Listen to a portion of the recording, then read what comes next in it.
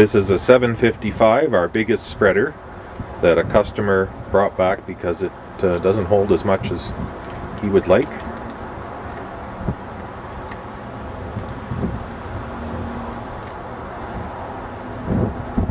It's uh, in really clean shape.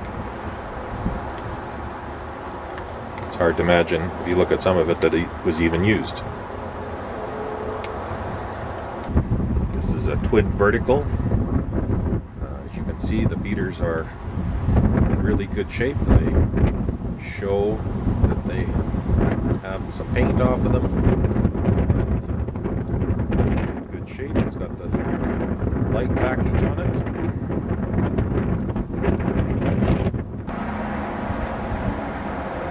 Uh, is the inside of the push. The paint still on the push. A little bit of scratching right at the top there, but uh, that's pretty minor. The floor is in perfect shape. As is the back door. The paint is like new. Beaters again